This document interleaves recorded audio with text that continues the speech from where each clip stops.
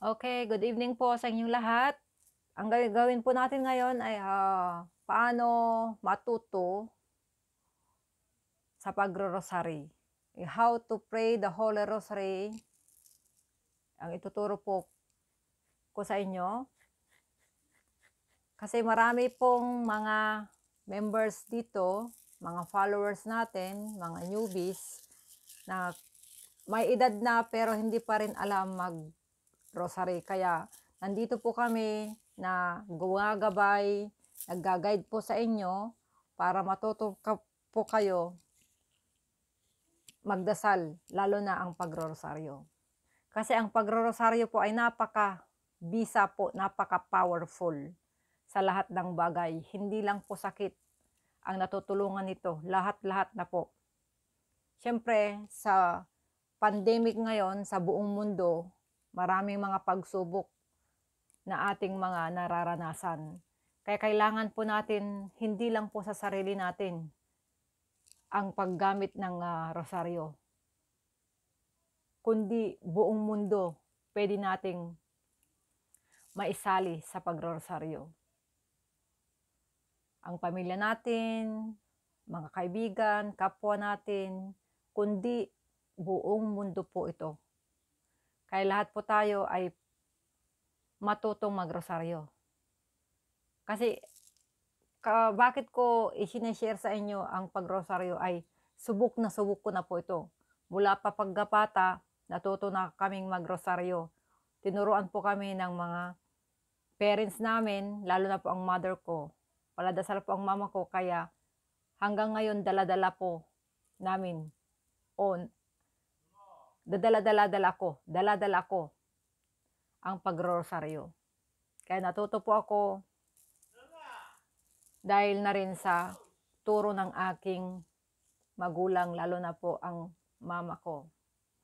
Kaya gusto ko rin pong i-share sa inyo, lagi ko pong sinasabi po sa inyo yan, na lagi pong magrosaryo, matuto, kung hindi nyo alam, may YouTube dyan na pwede nyong pagbasihan, at saka andito ang grupo ni Sis Kim na nagtuturo o magtuturo kung paano magrosaryo ng tamang pamamaraan. Hindi lang po yung pagrosaryo, ah, kahit alam mo na magrosaryo, pero wala din sa puso mo, useless din.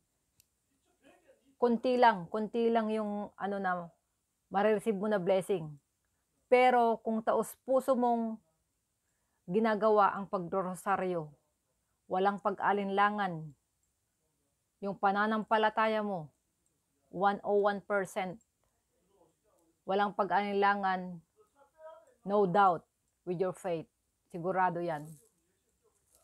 Kaya ang gagawin po natin, i, i ano ko, i-explain ko lang kung paano dasalin ang mga beads nito ng ah, buong rosaryo. A simple way. Okay? Makikita po natin ito dito, yung Holy Crucifix ni Jesus Christ. Dito po tayo magsisimula ng Apostles' Creed. Yung dinasal natin dito, yung I believe in God, the Father Almighty, Creator of heaven and earth, and in Jesus Christ, only Son, O Lord, was conceived with the power of the Holy Spirit, born of the Virgin Mary. He suffered under Pontius Pilate, was crucified, died, and was buried. He descended into hell. The third day he rose again from the dead. He ascended into heaven and seated at the right hand of the Father Almighty. From thence he shall come again to judge the living and the dead. I believe in the Holy Spirit, the Holy Catholic Church, the communion of saints, the forgiveness of sins, the resurrection of the body, and life everlasting. Amen. Ito po, mag-sign of the cross muna, then pray the Apostles' Creed. Pag after Apostles' Creed, dito po tayo sa Our Father. Our Father, who art in heaven, hallowed be thy name. Thy kingdom come, thy will be done on earth as it is in heaven. Give us this day our daily bread, and forgive us our trespasses, as we forgive those who trespass against us. And lead us not into temptation, but deliver us from evil. Amen. Sa three beads, we have three beads here. Hail Mary, full of grace, the Lord is with you. Blessed thou amongst women, and blessed the fruit of thy womb, Jesus. Holy Mary, Mother of God, pray for us sinners now and at the hour of our death. Amen. Second beads. Hail Mary, full of grace, the Lord is with you. Blessed thou amongst women, and blessed the fruit of thy womb, Jesus. Holy Mary, Mother of God, pray for us sinners now and at the hour of our death. Amen. Hail Mary, full of grace, the Lord is with you. Blessed thou amongst women, and blessed the fruit of thy womb, Jesus. Holy Mary, Mother of God, pray for us sinners now and at the hour of our death. Amen. Fifth beads. Glory be to the Father, and to the Son, and to the Holy Spirit, as it was in the beginning, is now, and ever shall be, world without end. Amen. Before we go to the first mystery, we pray here. The first mystery. Today is glorious. The first mystery, glorious mystery, is the triumphant resurrection of our Lord Jesus Christ. Then our Father who art in heaven, hallowed be thy name, thy kingdom come, thy will be done on earth as it is in heaven. Give us this day our daily bread, and forgive us our trespasses, as we forgive those who trespass against us, and lead us not into temptation, but deliver us from evil. Amen. Going to ten beads. Hail Mary, full of grace, the Lord is with you. Blessed thou amongst women, and blessed the fruit of thy womb, Jesus. Repeat until ten beads. Hail Mary, Holy Mary, then glory be. This is glory be. A big beads. Glory be to the Father, and to the Son, and to the Holy Spirit, as it was in the beginning, is now, and ever shall be, world without end. Amen. Second mystery. The glorious second mystery is the ascension of Jesus. Our Father, who art in heaven, hallowed be thy name, thy kingdom come, thy will be done on earth as it is in heaven. Give us this day our daily bread, and forgive us our trespasses, as we forgive those who trespass against us, and lead us not into temptation, but deliver us from evil. Amen. Then, ten beads, Hail Mary, Holy Mary, then, Glory be. Ten beads, Hail Mary, Holy Mary, hanggang sampo, then Glory be. Then, O my Jesus, forgive us our sins, save us from fires of hell, in lead our souls unto heaven, especially those who most need of thy mercy. Then, third mystery. Pag nabanggit ang third mystery, the coming of the Holy Spirit upon the Apostolic College, then our Father, then Hail Mary, Holy Mary, hanggang 10 beads. Then glory be na naman, glory be to the Father. Then, O my Jesus, forgive us our sins, save us of hell, and lead our souls unto heaven, especially those who most need of thy mercy. Then fourth mystery, the glorious fourth mystery, is the assumption of the Blessed Virgin in both body and soul. Then our Father, our Father. After our Father, Hail Mary, Holy Mary, then glory be ulit. Glory be to Father, then O my Jesus, the Fatima prayer. O my Jesus. Then after O my Jesus, fifth mystery naman. Fifth mystery, then Fifth, fifth mystery is the crown of the Blessed Virgin.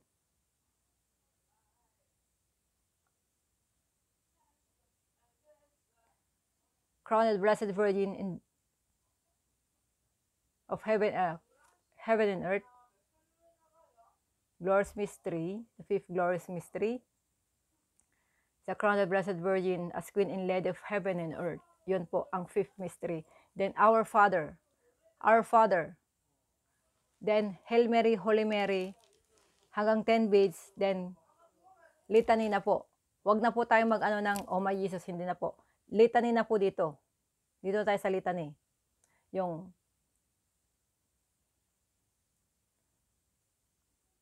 the litany. Lord, have mercy on us. Hanggang sa matapos. Dito na po lahat. Wala na po dito. Dito na lahat. Wala na. So, Napakasimple pong gawin. Paulit-ulit lang po. Paulit-ulit lang po yan. Pero yung iba kasi, tinatamad. Bakit kanyo? Paulit-ulit lang daw yung pagdadasal ng rosaryo. Hindi ba yung paulit-ulit, lalo na taos-pusong ginagamit, dinadasal, ay lalong pinapakinggan ng Panginoon ang ating dinasal. Lalo na ang paggamit ng rosaryo. Hindi po yung kahilingan mo lang ang uh, pinagdasal mo nang wala kang ginagawa, wala kang ginagamit ng Lord, pagalingin mo ako. Lord, bigyan mo naman ako ng ganito. Lord, gusto ko ng ganito. Paano bibigay ni Lord? Wala ka namang ginagawa. Hindi ka naman nagsasakripisyo. Hindi ka naman nagtsatsaga. Hindi ka naman nagsisipag. Nagsasacrifice para gawin ang pagdadasal ng rosaryo. Kaya yan po ang aking masasabi sa inyo. Kaya mayroon pa tayong rosaryo. Kailangan nating gamitin. Hindi po ito pang display lamang. Hindi lang po inilalagay sa bulsa ninyo, sa wallet ninyo, sa bag ninyo, kundi gamitin po ninyo. Matuto po kayong magrosaryo. Matuto nyong mag-aralan ang pagrosaryo dahil napaka-bisa po ito, napaka-powerful. Dito po, sa ginagawa kong ito sa pagrosaryo, napakarami na pong gumagaling. Hindi lang po tao. Ultimo hayop, may gumagaling po sa grupong ito.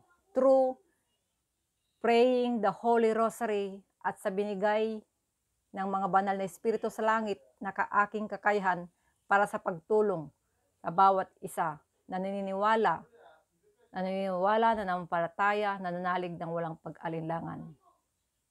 Yung mga sumusubok dyan,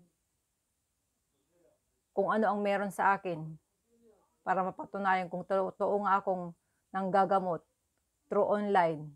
Kasi hindi niyo ako nakikita personal eh. Through online lang po ako naghihiling.